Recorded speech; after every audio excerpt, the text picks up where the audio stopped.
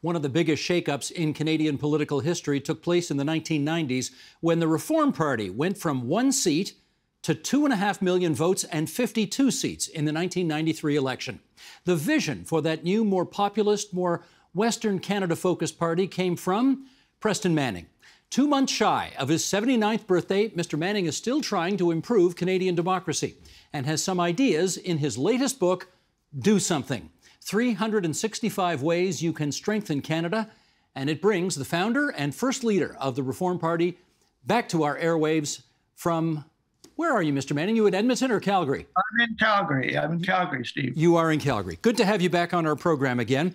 Well, thank uh, you. I, I, do want to start by, by pointing out that The Economist magazine does this Democracy Index survey every year, and apparently, of all the countries in the whole world, Canada came out fifth best, which is not first best, but fifth is not bad. On the other hand, you write democracy in Canada, defined as government of the people, by the people, and for the people, is in deep trouble. What are you seeing that The Economist isn't? Well, the, I guess one of the main things is just the disillusionment of Canadians, the, the disrespect of democratic processes, democratic institutions, uh, uh, politicians in general. I keep in touch with some of the pollsters, Steve, you know, that we used to work with in the political business. And I've kept asking them during this COVID crisis is there a flicker of concern on the part of the public that the uh, that the parliament was virtually shut down, that some of the legislatures have been virtually shut down or have had meaningless sessions. And they say there's not a flicker of concern. In fact, one of them said, I don't think the, part, the House of Commons could be shut down for two or three years, or it could be shut down for two or three years. And I don't think Canadians would even notice, let alone care. So I, I, think there's a deeper problem, much deeper problem, what the economists picked up. What does that speak to in your view? Well, to the po- politicians and the political parties, and I've been involved with those all my life, I, I think we need to strengthen the, the, the knowledge and skills of the uh, of the political practitioners and the trustworthiness of them. Uh, years ago, we did an, another a national survey asking people, Canadians, what, what's most important to you that a, a, candidate or an elected official be knowledgeable, that they know something about uh, this and that and the issues and so forth uh, that they have certain skills, communication skills, decision making skills, representation skills, or, or that they have certain character traits, uh, honesty, integrity, trustworthiness. And uh, predictably, character trumped uh, knowledge and skills, uh, very, very much so. P- people saying, I don't care how knowledgeable or how skillful a person is, if I can't trust them because of certain character characteristics or a lack of them, then it doesn't, the rest doesn't matter. So I think there's a lot that has to be done to strengthen the character, the knowledge, and the skills of political practitioners if you want to restore public confidence in, in our form of democracy. Where would you put that lack of confidence the public has in the system and in those it elects to do its business in terms of an explanation for why voter turnout has gone inexorably down over the last many decades? Well, I think you're you're putting your finger on one of the indications that people are are not participating in the processes because they don't think it it does any good. And so the, these factors that I'm talking about, strengthening the, the knowledge, skills, uh, the character of the political practitioners is necessary to win back that confidence.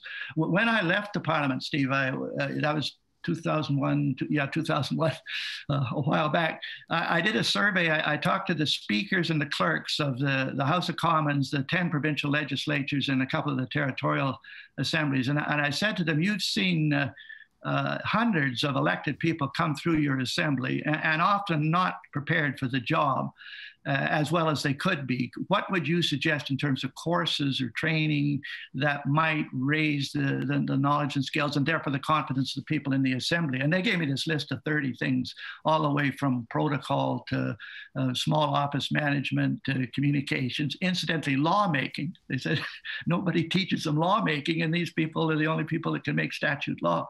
And I actually took that list to Carleton University, and Carleton developed this uh, Riddell uh, graduate program in political management to try to meet some of those uh, uh training needs. I took it to UBC, and UBC uh, developed this uh, Summer Institute for Future Legislators, and they're working on a democracy house that would be a, a 100 seat replica of the House of Commons where you could provide heavy duty training to better prepare uh, people for elected office if that's what they seek to do. And I, I think that's one of the things could be done to, to strengthen the uh, political class so that people have more confidence in it.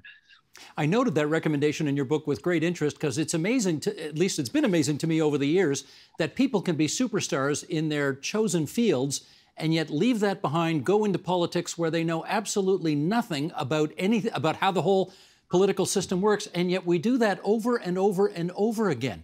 Why have we not figured this out yet? I, I, I don't know. Maybe we haven't talked about it enough, and that's what I'm trying to do in this uh, book. The, the, the, the other thing that would help this, Steve, is, is the parties developing much stronger recruitment processes for recruiting people into public life in the first place. Uh, my wife Sandra and I have we have 13 grandkids. Uh, a third of them boys that play hockey, a couple of them at fairly high levels, and so we've been to an infinite number of hockey games. And you go to these arenas, not during the COVID time, but before, uh, and you know, 6:30 in the morning. And they, if you look at the back row on the, the seats, there, there's a couple of grizzled old guys with clipboards. Who are these grizzled old guys with clipboards watching 11 and 12 year olds play hockey? They're scouts. Hmm. Some of them are scouts with NHL connections, scouting 12 year olds to see if there's somebody that shows a talent that if you gave them more training, better opportunities, experience, maybe they could play the national game at the highest level. Where's our political equivalent of that? Who's out scouting the next generation to find young people with some of these character traits, skills, potentially, that could be cultivated and developed. I think we need that scouting capacity if we want to raise the the qualifications of the political class. I wonder, though, whether you think politics has become so discredited and our democracy uh, lies in such disrepair at the moment that anybody who is, quote unquote, of quality will surely choose another profession to go into rather than politics. Are we there yet?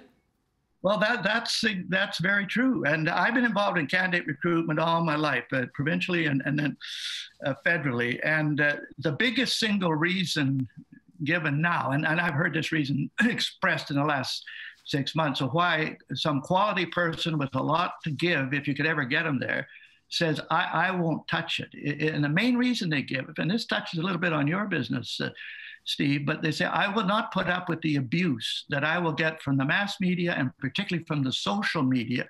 And more importantly, I will not submit my family to the abuse that you get today in the political arena, particularly in this polarized environment. And that's a very hard thing to counter. If, if somebody raises financial things, you can answer that. If they, they raise other concerns, you can usually answer that. But that, that one of just uh, uh people finding the political uh, arena corrosive from a, a personal standpoint, and the impacts on their family, it's, it's very hard to rebut that objection. Well, on the other hand, I have talked to politicians as well who say they acknowledge, of course, the, the family price one pays, the lack of privacy, the, the constant on social media attacks, and so on. And I've heard some say, yeah, that happens, but it's a relatively small price to pay for having the opportunity to have your hands on the levers of the country's agenda or the province's agenda or whatever for a period of time. Is that deal no longer worth it anymore? Well, uh, no, I think there are people that uh, that will say that, and then uh, they are not so disincentivized as to not throw their hat in the ring. But I hear far more of this other argument that I won't touch it because of the negative impacts on my family. Uh, I come from a political family. One of the ways of coping with all that abuse is develop a hard shell so that it, it doesn't get to you. You don't mm. pay any attention. Now, there's a danger in that. Uh, my father had that shell. I had that shell. The danger in that is you develop such a hard shell that certain emotional messages and that that should get through to you don't get through. So hmm. even the defense mechanisms for coping with the corrosive environment, if you're not careful, they can turn out to be a liability as much as an asset.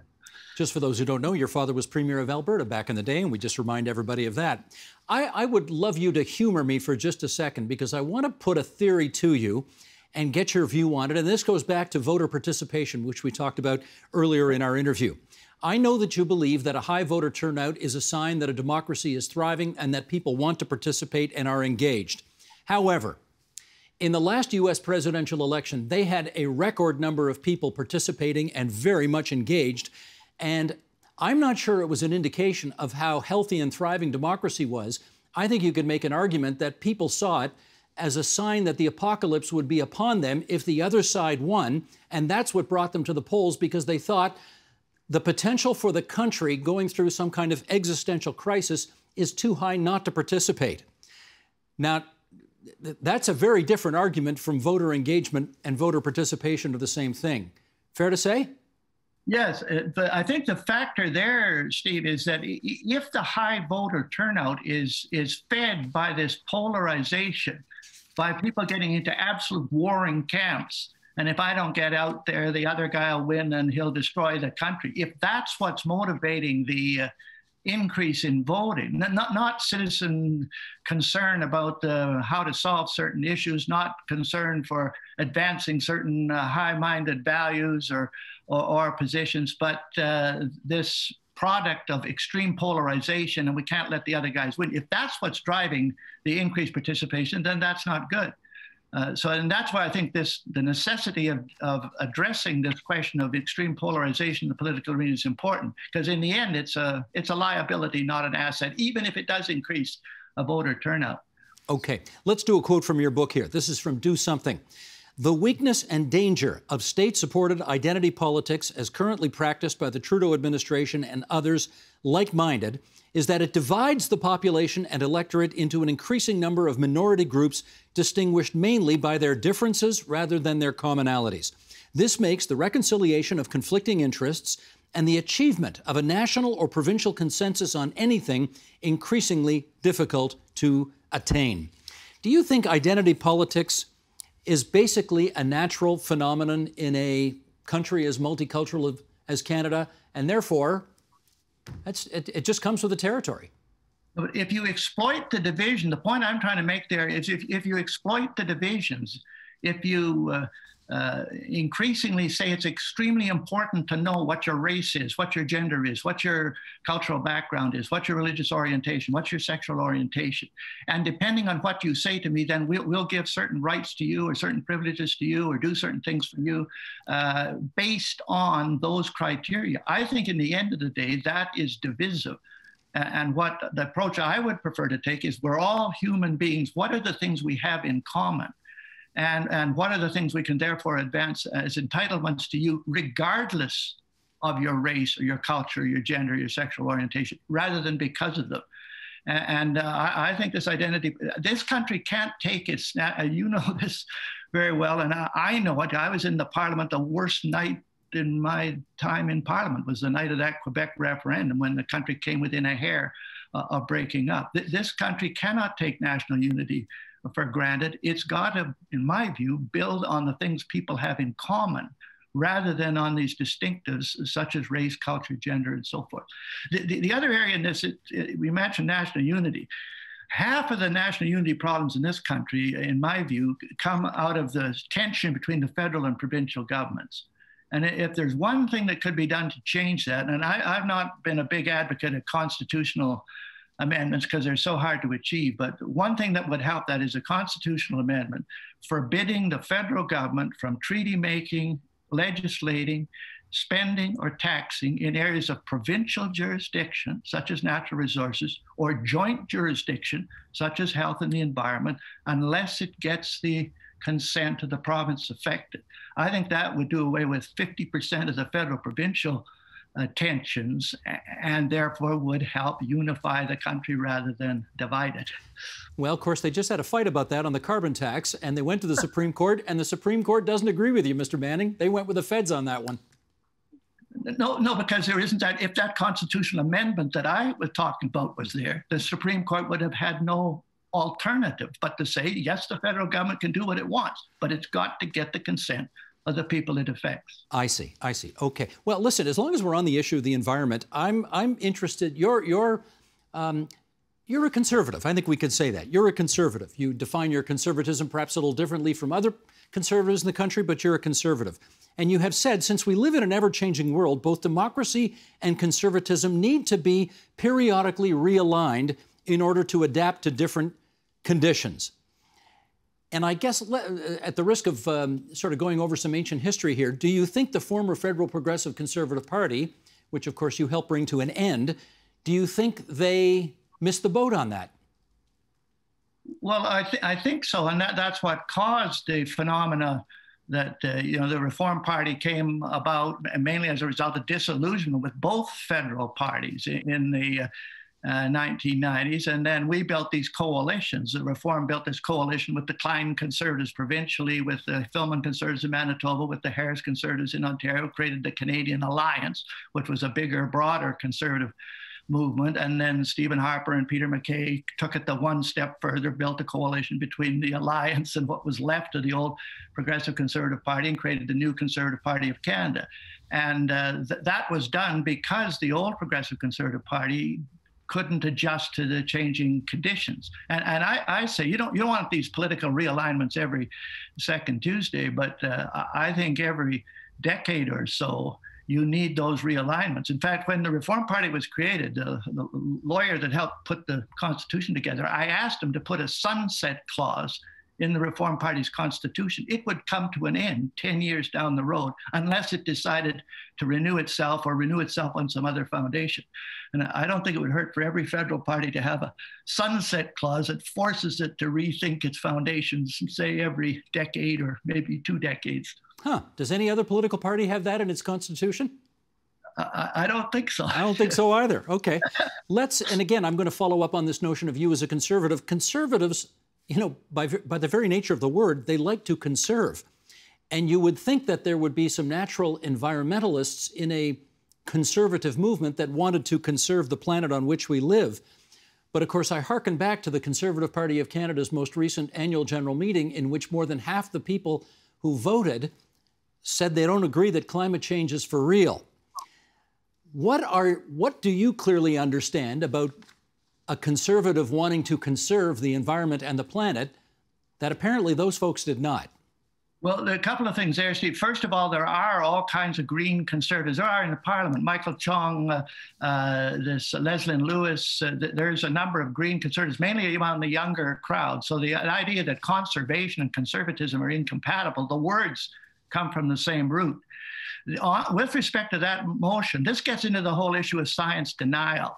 And there's been some very interesting work done on that. There's this book, Enlightenment Now, by Steven uh, Pinker from uh, Harvard, that gets into that. And what he says, or he quotes some other experts on it, is that these people that deny certain things about science really haven't gone and studied the science and say and you know are denying it because they've studied it backwards and forwards. What they're denying is the political champions of that science who they disagree with for a dozen different reasons that got nothing to do with the science. And that's what's at the root of that so-called science denial on the right and it's also on the left there, there's dozens of scientific studies that show that the safest, most environmentally responsible way to move large volumes of petroleum long distances is by pipeline. It is not by trains mm. and it is not by trucks. But left wing people often dis- ignore that or even deny it. Why? Be- because they've studied all these studies on pipeline? No, it's because to identify with it would put them in the same camp as the pipeline people or the conservatives, and they don't want to do that for a dozen reasons, got nothing to do with pipeline. So I, I think further explanations and understandings of the roots of this science denial, left and right, would be helpful in removing it as a factor from the, the political arena. Let me ask you as well about just where you think uh, this party, the Conservative Party of Canada, is these days. Uh, I think most small d Democrats would agree that, that a country works best, a democracy works best when it's got a competent, capable government in place and a competent, capable opposition ready to take over if that's what the people decide the next time out. Uh, the Conservative Party of Canada today, is it a competent, capable, ready to govern party in your view? Well, that's as you know, my book. That's the other half of my book. Basically, is I think there's a whole bunch of things not only that have to be done to strengthen democracy, but to strengthen conservatism's contributions within it. I, I use this model in the book of, a, of a, a pyramid where I have the political parties, conservative or whatever, at the top of the the, the, pyramid, the elected people will actually represent whatever in an elected assembly. But uh, underneath it, I have all the components of what I would call as the conservative movement as distinct from the parties, the think tanks that generate intellectual capital, the training programs that train people, the communicators, the advocacy groups, the funders, And uh, I argue that the stronger that movement is underneath the political party, the stronger and more competent and prepared to govern the party will. So I'm spending a lot of time on uh, trying to strengthen the movement because I think that's the way that we strengthen the party. And that this is true for every party, not just for conservatives. Mm-hmm. In our last minute here, I do want to ask you about how concerned you are as we look at democracy writ large that, for example, the Chinese, with their mm-hmm. state driven so called yeah. democracy, that maybe they're in ascension while our citizen driven democracy may not be. What's your view on that? Well, that's a very, you could spend uh, two or three of your programs on that, Steve. In fact, I'd encourage you to do it. I think the greatest ideological competition of the 21st century is going to be between citizen directed democracy as practiced, however imperfectly, in the West, versus that state directed democracy as promoted and believed in by the Communist Party and government of China. And if we're honest, I think we have to say we're losing that battle. Uh, I, talked to diplomats I, when I was in the political business in from Africa and South America and asked them which of those models. And if they came from a country with somewhat of an authoritarian background, they would look at me and say, which one, when I'd say, which one do you prefer? They would say the Chinese model, of course. Mm. Does that break your heart? Uh, yes, yes. And, and again, just for me, it just strengthens this need that we have to strengthen our own version of democracy if we want to be competitive internationally, let alone better off domestically. Well, people can always go get the book, do something, and if they do, they will find 365 ways to strengthen Canada, uh, one for every day of the year. That's the former leader and founder of the Reform Party of Canada, Preston Manning. Mr. Manning, not only are we grateful for the time you spent with us here on TVO tonight, but let me say personally, I'm grateful every time you send me a very critical email about some column I've written because I always appreciate hearing your point of view. So thank you. Let's keep it up, Steve. Thank you. the Agenda with Steve Paikin is brought to you by the Chartered Professional Accountants of Ontario. CPA Ontario is a regulator, an educator, a thought leader, and an advocate. We protect the public. We advance our profession. We guide our CPAs. We are CPA Ontario. And by viewers like you. Thank you.